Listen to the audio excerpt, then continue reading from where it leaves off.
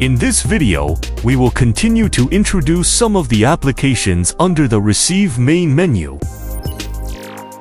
GFX EQ GISAC is a WFM audio receiving application with excellent equalizer functions. During the use of this application, we can set the frequencies you want to receive, as well as set the corresponding AMP, LNA, VGA, and volume. This mood can change the color of the audio fluctuation. WeFax The WeFax application is capable of receiving broadcast information from any high-altitude weather station and decoding the transmission content of the analog weather fax maps. When we enter WeFax from here, we can see the following parameters. Frequency, AMP, LNA, VGA, and volume. This LPM represents the number of lines displayed per minute, with options of 60, 90, 100, 120, 180, and 240. There are two IOC modes, namely IOC 576 and IOC 288. Most weather forecasts are sent in the form of IOC 576. The transmission frequency of WeFax, weather fax, is HF, so the reception signal will depend on the propagation time. If you don't know the best time to receive certain signals, you can query this website. You can see the received signals and their decoding on WeFax. The signal you receive depends on the time of the day and your location. If everything goes well, the chart you receive will be very similar to a topographic map, and you will see many curves and lines. Detector The detector application is built upon the level application and enables us to quickly monitor the signals of LoRa, remotes, and Tetra-up devices. It will conduct continuous monitoring as quickly as possible. If a certain frequency meets the threshold condition, the device will emit a short beep. Entering detector, we can set the LNA, VGA, amp and volume. We can also select the signals we want to receive, including LoRa, remotes, and Tetra-up. BIP is an adjustable rotary encoder threshold used for level monitoring. TPMS-RX TPMS is a tire pressure monitoring system that can operate within the ISM frequency band without requiring a license. In most regions, 315 MHz is used. When we enter the PMS application, we can set the frequency, choose the unit of pressure as kPa or PSI, and also select the unit of temperature as Celsius or Fahrenheit. Of course, we can also set AMP, LNA, VGA, and volume. When a signal is captured, the specific data will be displayed on the screen. TP refers to the type of tire sensor. It should be noted that TPMS does not support certain types of tire sensors. ID refers to the ID of the tire sensor. Pre is the tire pressure value.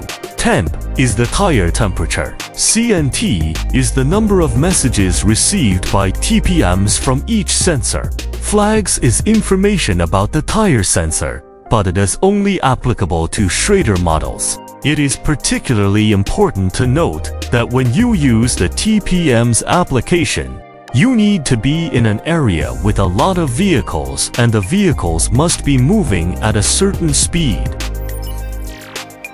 ProtoView In simple terms, ProtoView is a frequency monitoring system that provides us with a visual representation of the frequency.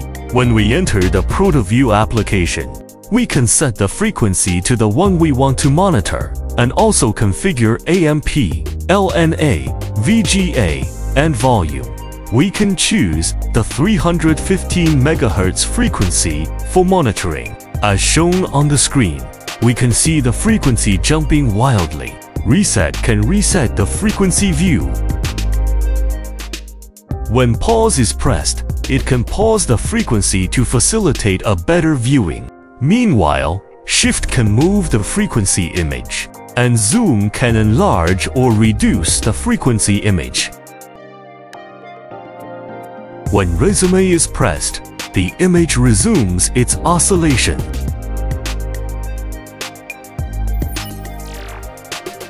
Scanner The scanner application can scan approximately 20 different frequencies. After readjustment, it takes about 50 milliseconds for it to stabilize. HeScanner will stop scanning on any frequency with a strong signal, and once it finds a frequency with a sufficiently strong signal, it will conduct additional millisecond level analysis to confirm that the signal still exists. When we enter this application, we can set LNA VGA amp comma dot volume bandwidth and squelch level. When the pause function is not enabled, the noise suppression level determines the minimum signal strength at which the scanner will pause during scanning or searching when a strong signal is detected. If paused for any reason, the noise suppression level also determines whether the audio output is on or muted. WASA and WSL are delay settings. WASA is the waiting time when the signal is activated. When the waiting time is over, the scanner will automatically jump to the next frequency. When the value of WASA is zero, the timer will be disabled and the frequency will not jump. WSL is the waiting time after the signal loss. When the strong signal is below the noise suppression threshold, the scanner will remain at this frequency for the specified number of seconds and then jump to the next frequency. The interface will display the frequency that is currently being scanned. When the number is displayed in gray, it indicates the scanning state. When the number is yellow, it means the program is analyzing possible signals. When the number is green, it indicates that a sufficiently strong signal has been found. The load function can read the list of scanned frequencies or search range from the file. The MCLRA function will clear the frequencies in the temporary scanning memory. The switch function allows you to switch between scanning and searching modes. The mode function can select AM, NFM, and WFM. You can adjust the frequency step size using the step function. The pause button allows you to pause or resume the scanning frequency.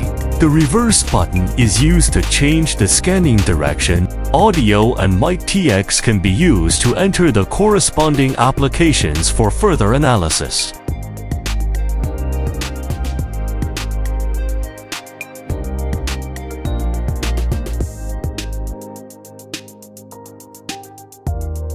DELFQ means deleting the current displayed frequency value from the scanning memory, and ADDFQ means adding the current frequency to the scanner TXT file.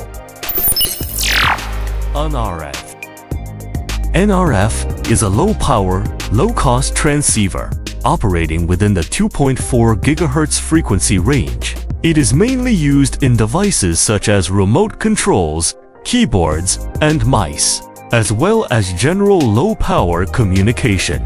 With this application, you can use a portable package to decode the data sent by the NRF24L01 transmitter and view some data information. Currently, it only supports the 250kps mode. In the NRF application, we can view some data. On the interface, we can set frequency, AMP, LNA, and VGA, click Modem Setup, and here the preset values for the modem include Bell 202, Bell 103, V21, V23M1, and V23M2. We can set baud rate, mark, space, and serial format in the received data. Address refers to the destination receiving address or source sending address of the data packet. It depends on the type of the packet and is usually presented as a 5-byte hexadecimal value. Data is the actual application data carried by the data packet. This is the core information that the sending device intends to transfer to the receiving device. It is displayed as a series of hexadecimal bytes. However, its specific meaning entirely depends on the upper layer application and device that generated this data packet.